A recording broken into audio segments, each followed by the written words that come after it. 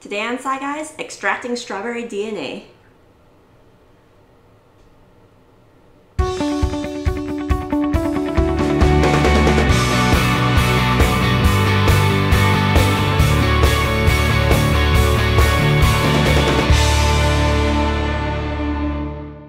Welcome to Sci Guys. I'm Ryan, And I'm Teresa, and today we'll be extracting the DNA from a strawberry. and then we'll manipulate it and take over the world.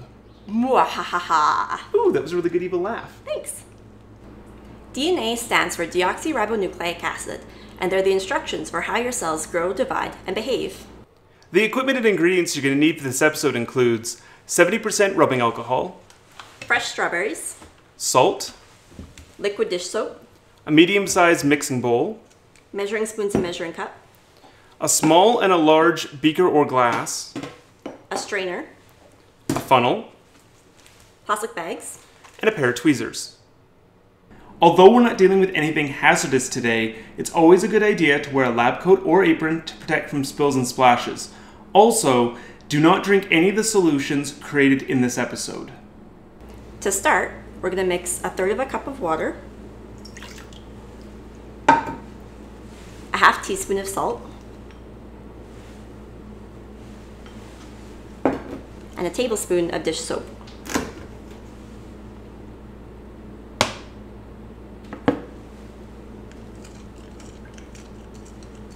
Once you have your solution made, place your rubbing alcohol into the freezer to chill. The next step in our experiment is to take three strawberries with stems removed and put them into your Ziploc bag. Use a tablespoon and measure out three tablespoons of our saltwater solution into our bag.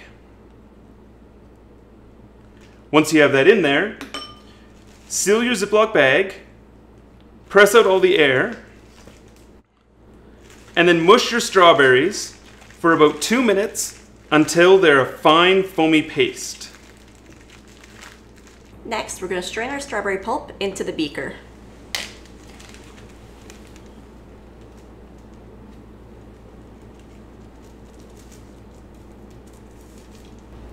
And you're going to use a spoon to push it through.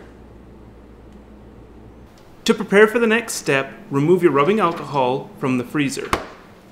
The next step in our experiment is to take one half cup of your chilled rubbing alcohol and our strawberry foam mixture and gently pour your alcohol into your mixture. You don't want the alcohol to mix with the strawberries, you just want it to create a fine layer on top. This will help your DNA separate from the rest of your strawberry mixture. Lastly, use the tweezers to remove the cloudy DNA from your beaker. Let's look at this experiment a little closer. DNA stands for deoxyribonucleic acid, and it's a molecule that encodes cells with the genetic instructions used in the development, division, and behavior of all known living organisms and even some viruses. Strawberries are octoploid, which means each cell contains 8 sets of DNA, unlike human cells, which are diploid, meaning they contain two sets of DNA. We use strawberries in our experiment because of the large amount of DNA in each cell. Detergent molecules have two sides a head which is attracted to polar water molecules, and a tail which hates water but likes to attach to non polar molecules. Cells are made up of a phospholipid bilayer, with a polar phospho outside and a non polar lipid interior.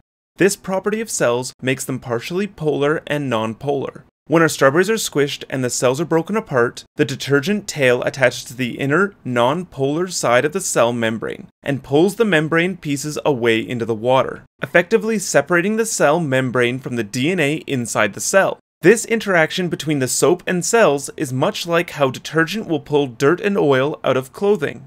After the DNA has been separated from the cell membrane, the salt in our solution creates a conductive ionic environment which causes the strawberry DNA to bind and clump together. When we slowly mix the rubbing alcohol with our strained strawberry solution, we discover that DNA is not soluble in rubbing alcohol, which means they will not mix together. Because rubbing alcohol is less dense than our strawberry solution, it will layer on top of our strawberries, pulling the DNA away from our squished solution, allowing the DNA to form cloudy clumps which can be collected with tweezers.